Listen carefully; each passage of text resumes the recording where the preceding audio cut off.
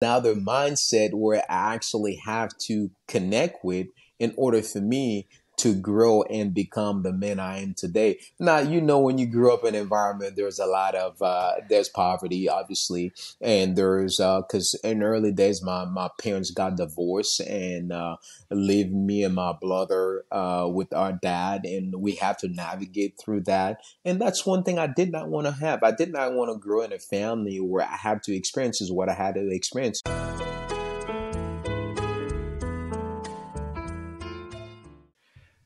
My mission in life is not merely to survive, but to thrive. My man Dordy, what does this mean? Man, you know what? For me, it means I'm not just here to live an okay life, but to make the best out of every opportunity. Uh, my story behind this quote is because uh, I remember uh, growing up as a young kid where I came from in a place where it's it's it's a lot of struggle. I mean, a lot of uh, ups and down, a lot of chaos, gang violence, and uh, from an early age, I noticed something that I did not want. I did not want to be angry. I don't want to mimic the same um, environment. And from that time, I've realized, you know what? There has to be a better way out. There has to be something better than this. And of course, being a kid, I didn't know what that meant. I know that I did not want to get shot because there's a lot of great opportunities out there. Uh, but that's become the um, the pillars of my life. I want to be better. I want to be better whenever that opportunity presenting to me. Granted, I was uh, back in Haiti. It was like, okay, you know what? It's nearly impossible but that type of uh, mindset ingrained to me to the point where like you know i would not okay to survive just to be here, but I want to attain the next level, which is want to get better every day. What were you? This is awesome. Like, thanks for this. Uh, because I know that there's a lot of there's going to be a lot of feel good fathers are going to identify with this. That there's going to be some piece of it that's re- that's reminded of them. One of my stories is I was growing up in Toronto, and through silly happenstance. I was very young. Me and my buddies, we all had the wrong kind of bandana on. We were on the wrong kind of street corner. And we were like, we were literally like 30 seconds away from having a confrontation. And we were not in a gang or anything like that, but we were just in the wrong neighborhood at the wrong time of night with the wrong dress. And it's just like, oh, it's this crazy story. And I can't imagine because that ended up being super well. I can't imagine being in an environment and I'm grateful that I've grown up in a place where that wasn't an environment where I grew up. But at this young age, you had this concept of want to be better. What I'm really interested in knowing is um, how did that manifest for you in Haiti? And then, like, what did you do? Like, what was the next step? Like, what happened? Yeah, uh, I mean, uh, really, really, really uh, going back with uh, wanting to uh, looking for opportunities to making sure I maximize it. Now, granted, I know that being in a poor country, I mean, obviously, according to the uh, to the status that been publishing by the uh, by different organizations that we probably one of the country, the poorest country in the Western uh, hemisphere. Uh, I can't even say that word, but in that Western uh, world. Let me put it that way. sure. So, perfect. so, so in that regard, that we know that disadvantage, it's actually real. So what I have to do is just, okay, you know what? I have to accept the reality that one, it is the environment, but also what can I do in that moment to making sure that whenever an opportunity present to me, I could go for it. So for example, I know as, as a kids, we all have to go to school and that's one of the things my father says, hey, you know what? The best gift I could give you is just to making sure you go to school, which is great. I'm grateful for that. Now, granted, there's other skill set that in the part of that process I have to uh, I have to learn, such as like you know what, how can I actually be grateful, but also knowing that I cannot be content to where I'm at. And I'm starting to says, okay, you know what? Yes, this is the reality for me, but also what can I do to making sure that I'm not accepting that type of life? So fast forward, my father, uh, which is uh, he's a, he's a great man. I love my father, and he did the best he can with the tools that he has, and and and I watched my father uh, work hard to provide for the family. That's one thing I, I learned from my father that uh, working hard. That's something that I mimic from him till today. Now, uh, as a young man, the thing that sometimes that get me really uh, uh, really move is that he would never ever live us to the point where he's not provide to the point where he's not give us uh, financially he's not responding to those needs which is those are the, the principle i get from my father.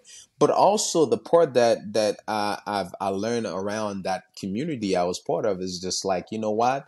Uh, we have to do the best we can with what we have and mm-hmm. that's one another mindset where I actually have to connect with in order for me to grow and become the man I am today. Now, you know, when you grew up in an environment, there's a lot of, uh, there's poverty, obviously. And there's, uh, cause in early days, my, my parents got divorced and, uh, leave me and my brother, uh, with our dad. And we have to navigate through that. And that's one thing I did not want to have. I did not want to grow in a family where I have to experience what I had to experience. Is one time on the book I talk about in my book that my father went on a business trip. He left me with his girlfriend. She stole everything in the house. I was full.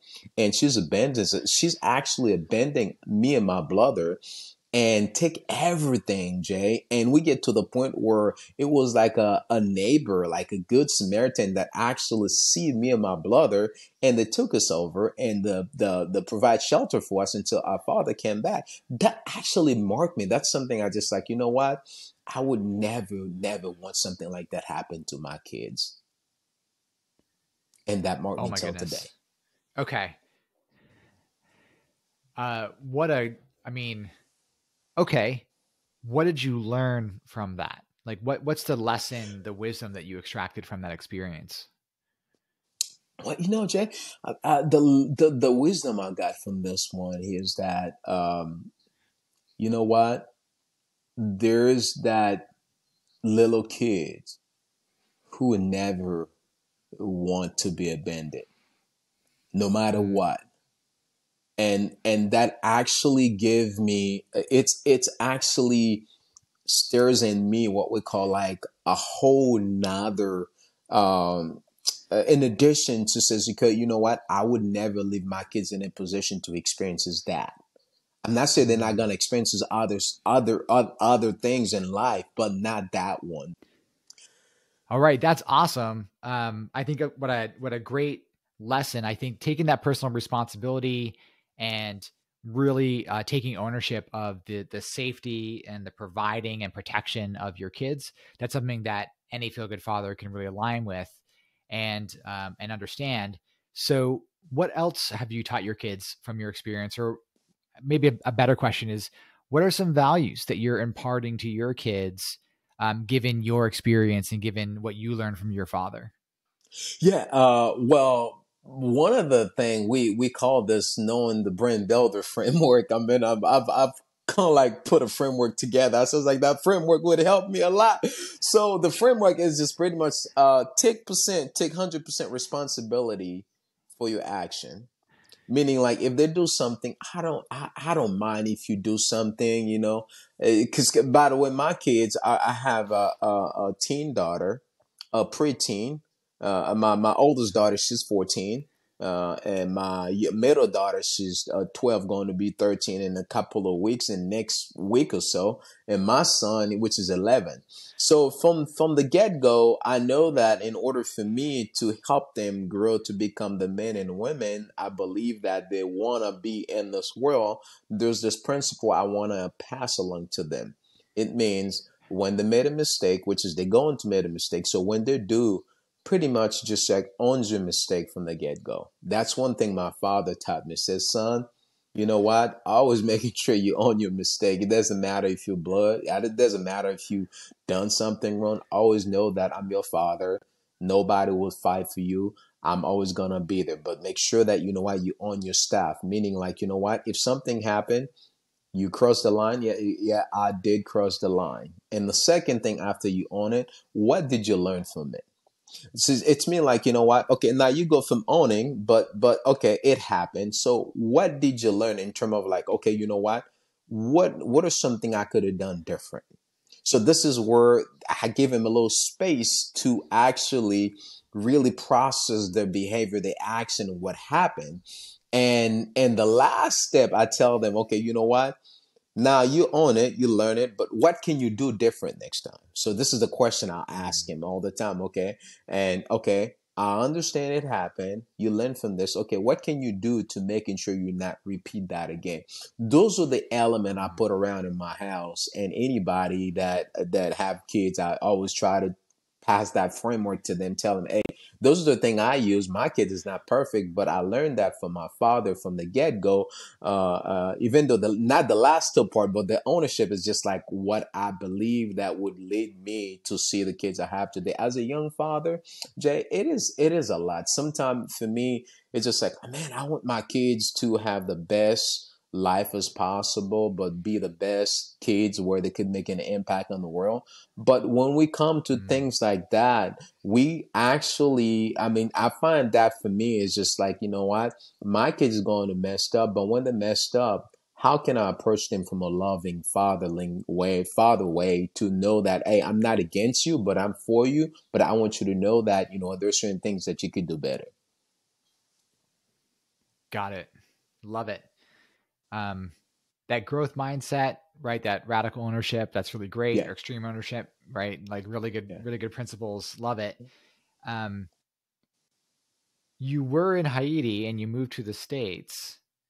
So tell us, tell us about this journey. And I'd love to know kind of when, when did family come into the picture along your journey?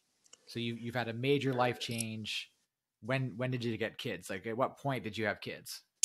Well, I I, I have my uh, I moved in the U.S. at the age of 17, 16 going to 17.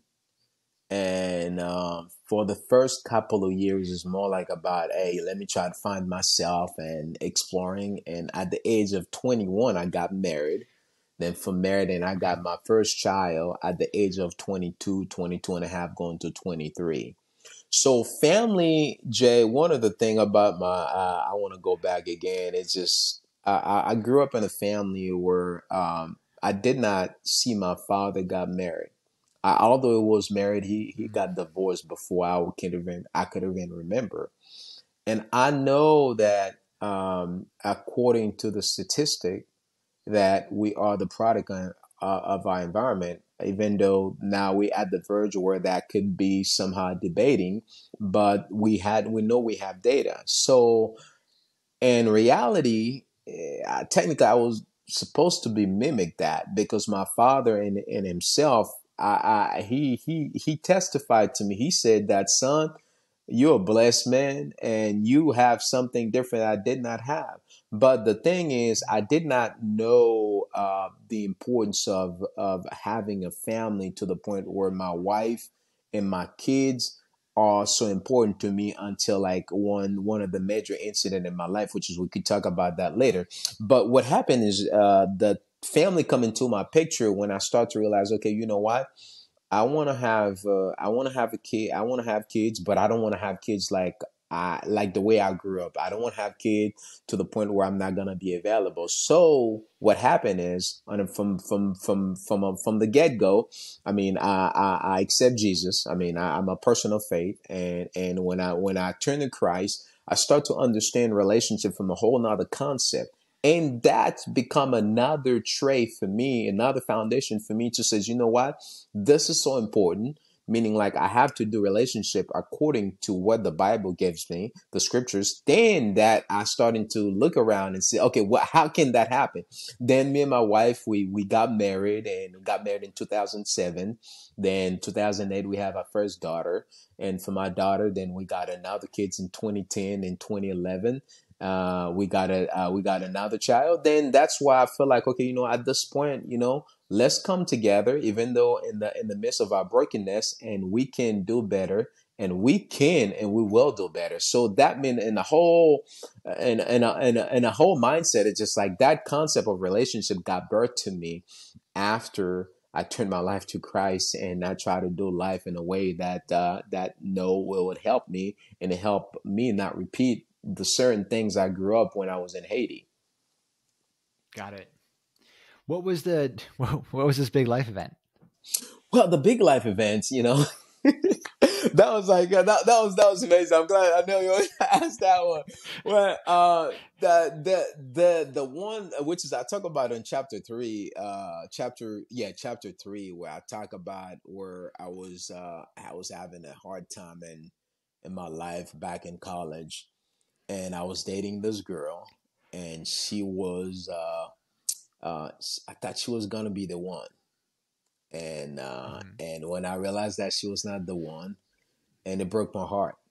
And then I mm. spent a whole year trying to get myself together. But my wife, which was at that time was uh, not even a friend, not even a friend, she was like acquaintance, and she came by uh, because in in Austin, Texas, uh, there's not that many Haitian. When you came across a Haitian in Austin, Texas, it's just like, oh man, you were Haitian, my that's my people. Let's get together. So uh, that's kind of like how I met my wife. I was came from the air. I was came from uh, Florida visiting the family. She uh, she and my brother come pick me up at the airport, and I was talking, and I just leave me alone. It was a long flight, and that's how I met my wife. But during that process I found that she would stop by more often, just like random because we we came from the same place. She was just checking on me. And at that point, I realized, you know what? Huh, there's something special about her. And I started talking to her.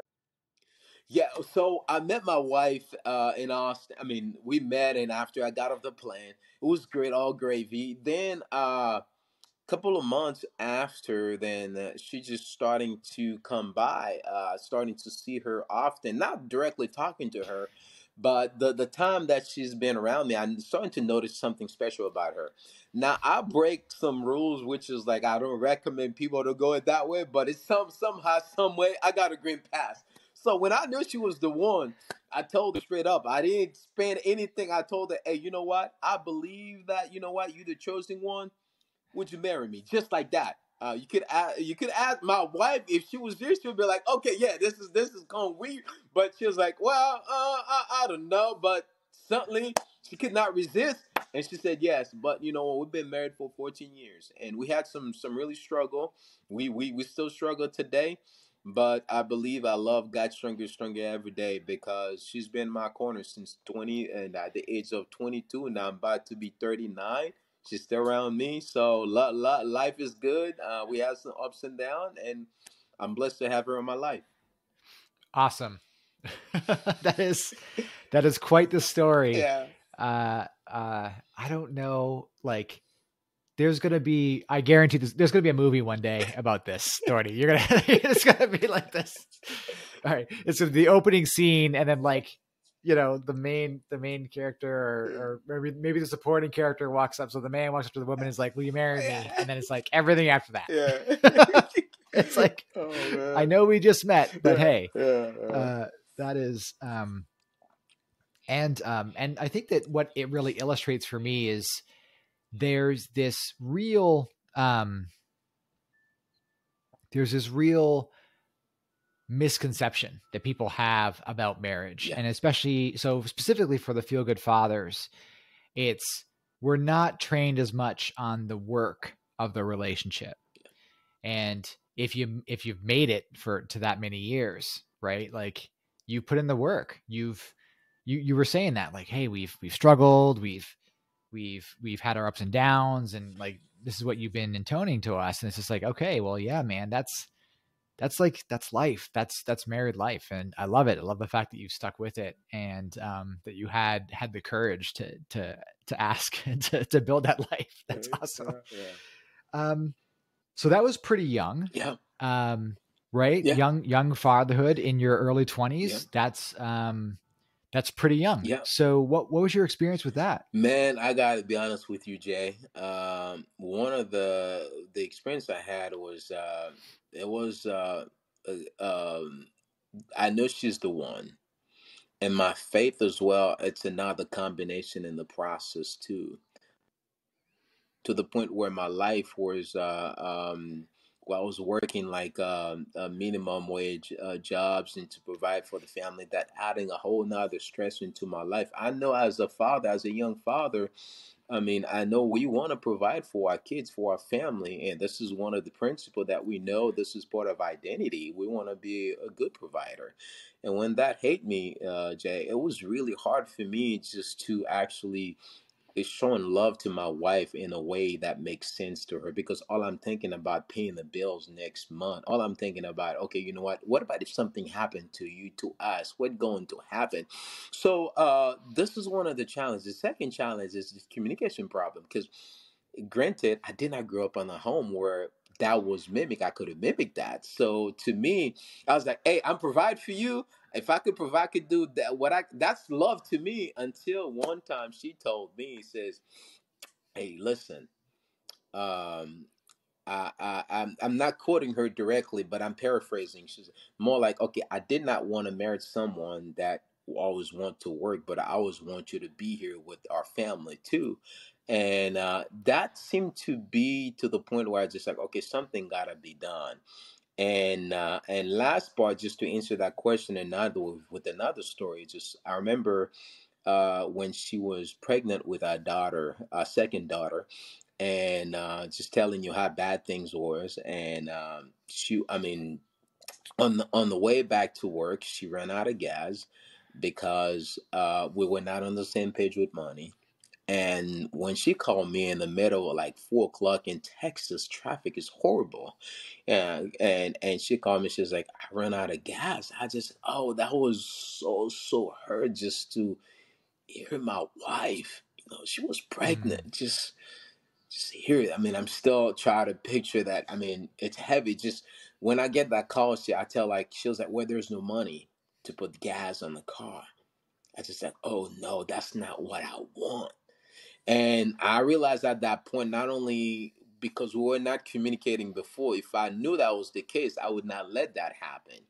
And and mm-hmm. as a young uh, fathers out there, all I was trying to say, the message is just um, do your best to communicate with your with with your spouse and with one another where things are. I know for me as a man, I'm all like I'm goal oriented. I'm so vision. I'm a visionary.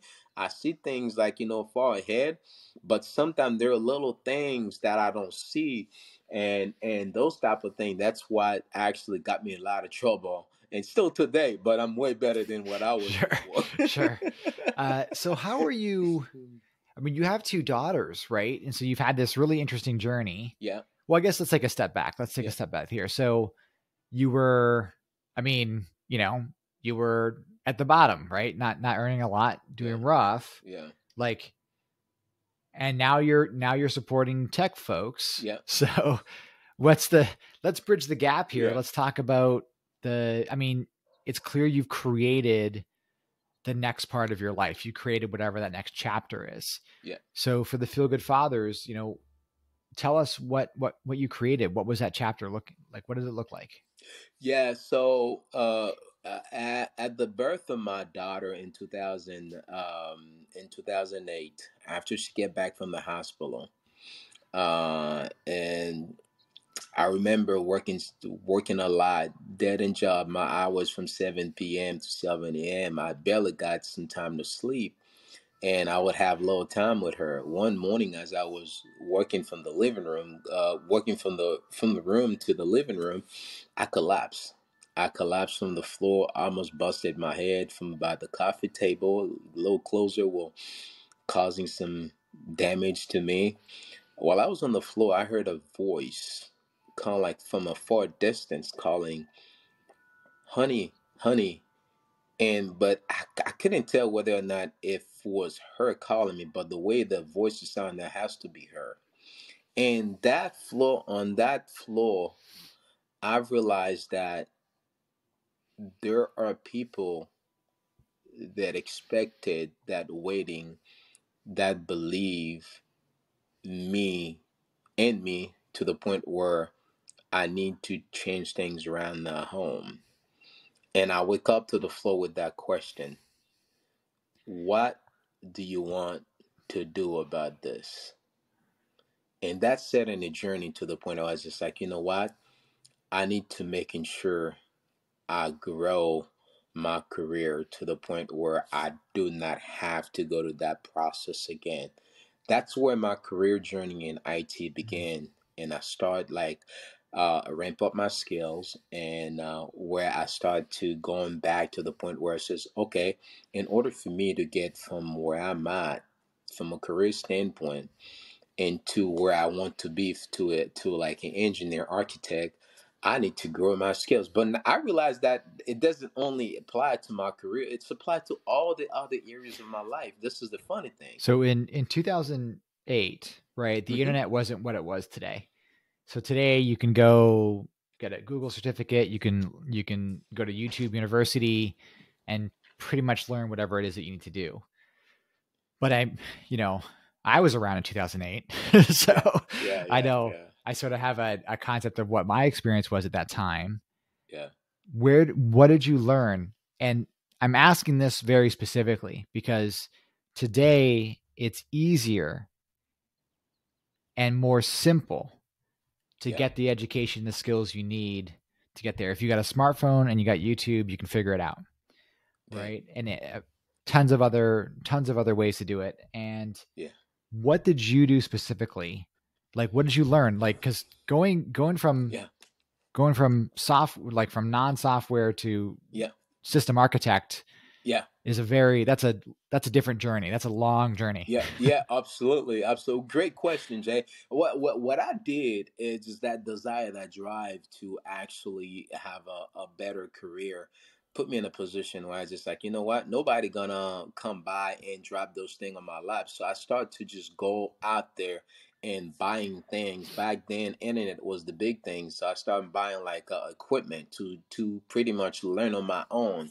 That journey of a uh, of self learning starting to occur at that point and and in that process uh, there's a couple of programs that started enrolling in local community college to the point where it was even though it was a nine months back then now you could get it shorter than that. So uh, for me it's just like okay you know what? Those are the steps i had to follow meaning i got to get the books and i'm starting to read. I'm starting to okay this is what it means this is the skill in order for me to get to get that job, I need that type of skill set. Jay, I got to be honest with you, there's a lot of rejection in that process too. I mean, I got mm-hmm. so many no's after I got those skills.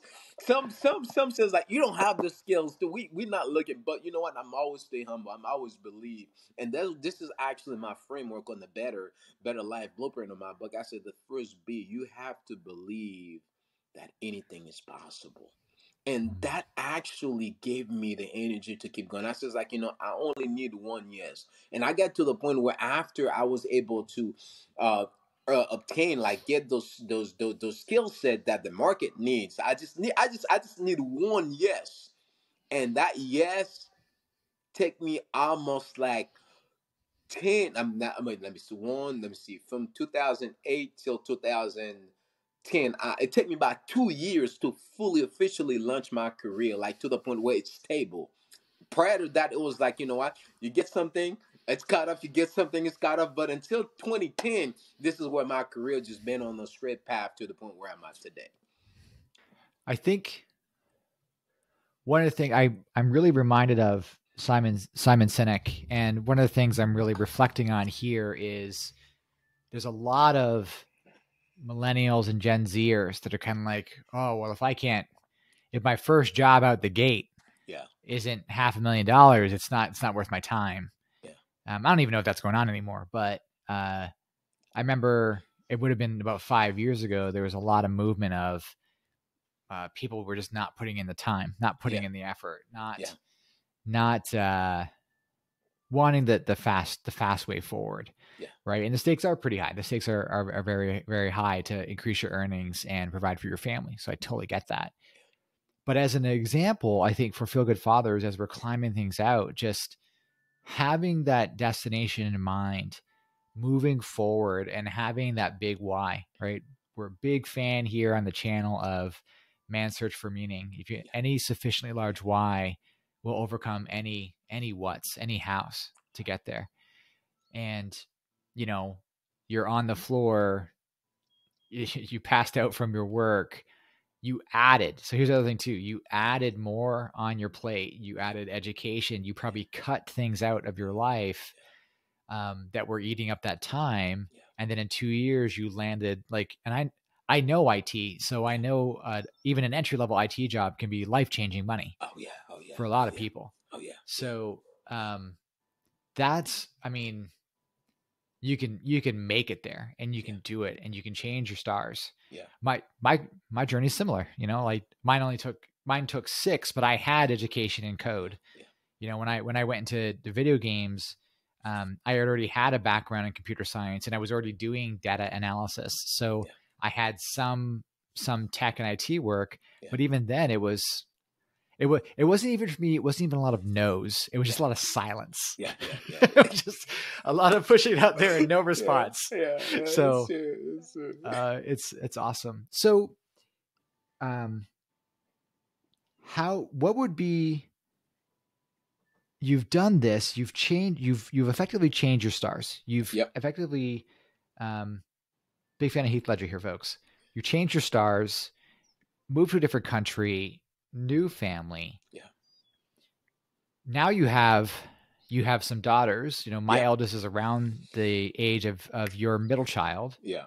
And so, what are you modeling for your children? Because you have two girls and a, and a boy. So, what are you Yep. modeling for your children? And how is the how are you going to address, or what are you trying to instill for the next generation for your family? You know, uh, I'm a, I'm the type of person uh, I mentor. Uh, I'm a big, big believer in the next generation, and one of the scriptures I quote a lot is just anything is possible for those who believe. Mhm. And outside of that, uh, uh, I've always tell them that you know what, don't limit yourself based on what you see. Believe that it is something that everyone has to go through, but at the end of the day, you could conquer anything that you face. What does that mean? So, by the the way I say that to them, because we we talking about the gen, uh, we got the alpha generation, and we got Gen Z, we got the millennial. So we got three different generation here. So we all see things different. But at the end of the day, if we boil everything down, it just come down to the point where, like, you know what? you, we have to believe in ourselves that we have the capacity to rise regardless of your background, regardless Mhm. of where you came from, regardless of your social status, regardless of the parents who, who raised you, regardless your color, regardless of those things. We have that ability to understand that one of the thing I says being again by teaching that warrior lifestyle, which is like this is the core, take ownership of your life taking ownership of your of your life. It's not like you said, "Okay, I'm the god of my life," to the point that you know what I'm I'm saying I'm take over the world. Like you know, there is no creator. That's not what I mean. Take ownership. It's just like there's things that been given to us, especially to this generation. For example, we know that technology it's at the fingertip of this generation. Everywhere they go now, my kids got their the iPhone for Christmas. They have that. They they just they can do. Now I did not have that. I, I as a matter of fact, I didn't have my phone until like my junior year in high school. Guess what? I paid for it. So that's the thing. I just now they have something technology could give them, which is we did not have. Now there's there's what, what I tell them. I tell them all the time. Use the tools that you have to better yourself or and better the world at the same time. Meaning we create, we maximize, we invent, we reinvent things, we make things better. Now there's gonna be some obstacle. Like for me, what I had to go through, yours gonna be different, but at the same token, I, the fundamental is the same thing. Always believe that it's possible that's actually one of the things that give me the drive to go forward. Anything I'm facing some challenges, I look back to where I came from back in Haiti, little boy, that dream of living a better life, to where I'm at now, where I'm debt free. I got my family, now I got a career where I'm making an impact on my community. But 30 some 30 some years ago, I did not see that, but I know that I believe there's something better out there, and then I've been operating in that mindset. And guess what? This is where things are today. I always believe, I always tell them like, try to be better than the person that you were yesterday. Always try to Mm. grow. Always try to improve. At the end of the day, sky is the limit. Absolutely love it. Dordy, if folks want to get a hold of you and they want to kind of see what you're up to and about, how can they do that? How can they do that? Great, great question. So yeah, I mean the the one place they can find me, they can find me, uh, they can check me out at Solution for Better Life. Uh, that's is where we actually starting to launch a coaching and consulting firm to help the young professionals and uh, start a grow their professional career. And also they can find me on Instagram at the Dordy Pierre Paul uh, and Facebook as well. Find me as well. So Dordy Pierre Paul as well. Awesome. Thanks Thank so much. you very much. Hey, please subscribe to the Feel Good Father YouTube channel is above your head. Go ahead, click that button now. You need to connect it. Your life will be transformed. Thank you. And also, the next video, according to YouTube, is right there. I hope it's one of mine. It's going to be a good one. You'll know it because it'll have that nice blue background. Feel good father. That's the next one. Right there. Right there. Okay. Thanks, everybody.